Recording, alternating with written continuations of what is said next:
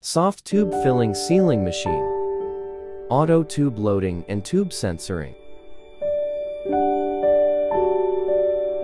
Then piston filling for cream. Inner heating with outer water cooling circulation. Sealing and date printing. Tail cutting.